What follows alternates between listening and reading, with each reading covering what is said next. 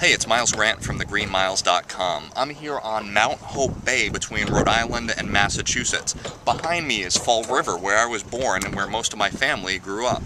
Behind my lovely videographer here is Bristol, Rhode Island. So this is really the seat of my family here, from Fall River to Bristol, over to New Bedford, Mass, Fairhaven, Mass, down through Rhode Island, out into Western Mass. This is where the Green Miles is from. So behind me is Fall River, and you can see there's also a coal plant across the way. Uh, I believe that's Somerset, Massachusetts.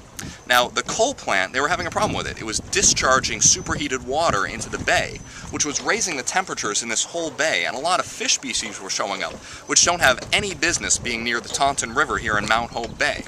Now, if you had a problem like this, what might you do? You might say, well, we should build some windmills out here. There's wind power all over this area, great wind for it. You might say, well, let's build some solar power. Maybe we can put some local solar on all these homes so we don't need a coal-fired power plant. They didn't do that. What they did was build two giant cooling towers to cool the water before it goes into the bay. Now those two cooling towers literally tower over the entire bay, in the entire region. You can see it from miles around.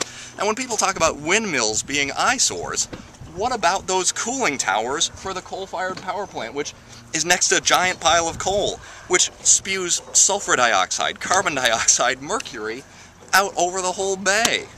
When we talk about our energy choices, folks, with clean energy, oh, it's too expensive, it's, it's an eyesore. This is our energy past. We need to talk about an energy future.